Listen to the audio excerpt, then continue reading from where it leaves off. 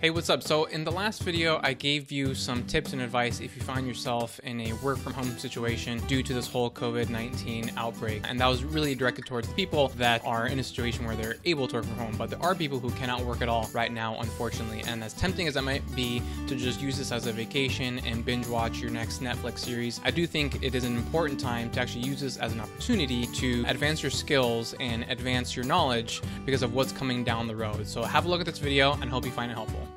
What's up, everyone? Happy Friday. Alvaro Berrios here, sorry, with Alvaro Berrios Digital. And uh, I wanted to hop on here. I did a live Wednesday and I wanted to do another live today. So, Wednesday's live was really focused on the people that are in a situation where they're actually forced to work from home and they may not be used to doing that. But there's also people that are in a more unfortunate situation where they actually can't work at all right now. They have to stay at home, in some cases, not earning a paycheck. And there's a lot of uncertainty for those people. And I know some people have even been laid off at this point. And for those that are in that boat, I can tell you, uh, you have my deepest sympathies. I know exactly what you're going through. Uh, my very first job, actually, out of college, was at a mortgage bank, and that was during the financial crisis. So it's probably not too surprising to hear that during that financial crisis, I got laid off from that job. I know it's a little bit strange from mortgage banker now now to a marketer. Uh, it's an interesting transition for sure, but um, like, like I said, I do fully understand the situation that you're going through, and I just want to let you know that deeply sympathize with you. And if there's any way I can help you, feel free to reach out at me anytime. Kind of going back to my original point is, you know, there's a lot of people stuck at home right now. Uh, again, whether they're working or they're not working. And I think an unfortunate trend that has started to happen is that you're seeing headlines of how streaming platforms such as Netflix and Disney Plus are having biggest days and weeks ever. They're even having to, in some cases, lower the quality of their videos uh, and movies that they have on their platforms in order to make sure that that the speed can still keep up with everyone who is on the platforms. I've seen gaming platforms have their biggest days ever. And so it's tempting, right, in these situations, in these times, to just sit back, relax, binge some Netflix, play some video games, and just kind of hang out on the couch. But uh, it's really important to figure out what to do right now with regards to what's going to be happening in the future. And so I understand that it may be tempting in the situation to just hang out, especially because if you're reacting in anger, but remember how you react to the situation is up to you 100% 100%, right? So, yes, it may be a terrible situation where you're forced to work from home or unfortunately you've been laid off, but how you react to it is 100% your choice. Meaning, as an example, right, if someone cuts me off on the freeway, I can either get really angry at them or can tell myself, oh, maybe this person is dealing with an emergency that they really need to get to. That choice is 100% mine. And it's no different here in this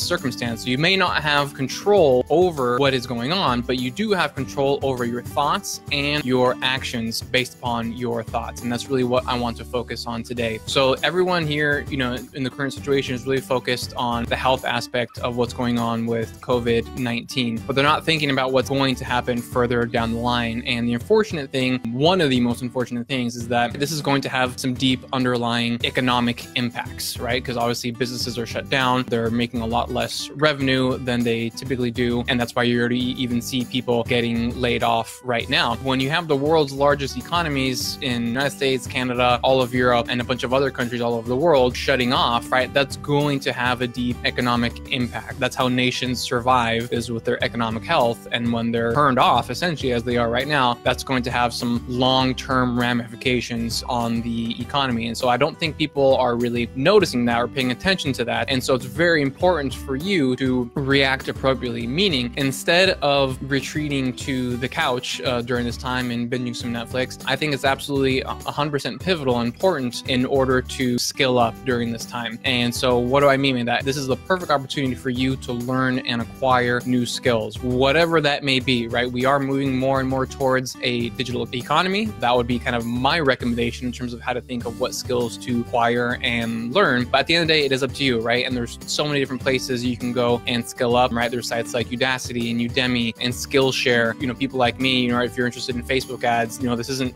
I'm not trying to make a hard pitch here, but Facebook ads is something that you want to learn more about. That's something that can help you with. Or if you want to learn more about, you know, YouTube or video editing or sound editing, you know, whatever it may be, even programming, uh, right? There's all sorts of different programming languages out there and a bunch of different sites that teach you how to do programming. So it is very, very important to start skilling up during this period because it'll only set you up for success further down the road. And so again, I'm not trying to be a doomsdayer here or anything like that, but I do do think it is important to be strategic and stuff like that. So I'm not acting in fear, but I do think it is important to be very strategic. Um, to seal something directly that I heard from James Wedmore, I don't go to sleep every single night worrying that someone's going to break into my house, but I still do lock the doors because it's just the smart thing to do, right? It's the safe thing to do. And so it's no different here, right? You can either react in fear and be angry and just kind of retreat, or you can be smart and strategic and acquire new skills right now. That way, further down the line, when these ramifications start to kind of become more apparent, you'll be in a position where you'll still be safe, secure, and be able to provide for yourself, for you, and your loved ones. So that's just really all I wanted to come on here and encourage you to do during this period. Remember that everyone around you is observing how you respond to the situation, whether a spouse or a significant other, whether it's your parents, your children, friends, your siblings, right? And when you think of it that way, right, everyone can agree that you would love for everyone to see the way you react to this as a as an opportunity, right? That you're going to invest in yourself, you're going to progress your life both personally and professionally, and you don't want everyone to see you as just a person that retreated and laid back and didn't do anything during this period, right? So remember how you want to be in more of a role model type of situation, then just think about how everyone's going to be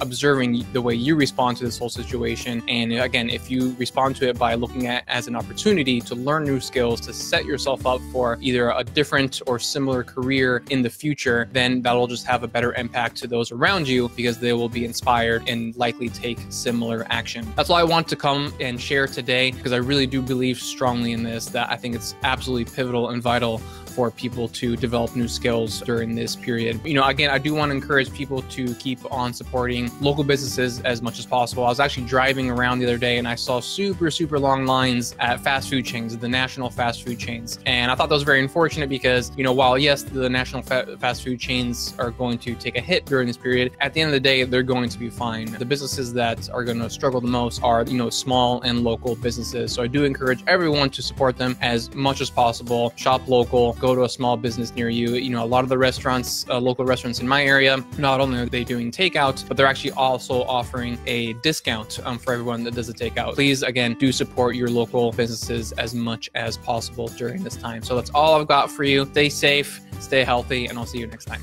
Bye. What's up YouTube? If you found this video helpful and you want to see if there's a way for you and I to work together, head on over to alvaroberrios.com, fill out a form, schedule an appointment, and we'll see what the best situation is for you and I to move forward and uh, work together. If you found this video helpful, please support the channel by hitting that like button and leave your comments below. Let me know what else you would like for me to cover and I'll try to cover it as best as possible. And if you haven't done so already, please hit that subscribe button and turn on your notifications. That way you don't miss any new videos when we put them out. That's all I've got for today. Take care and see you soon.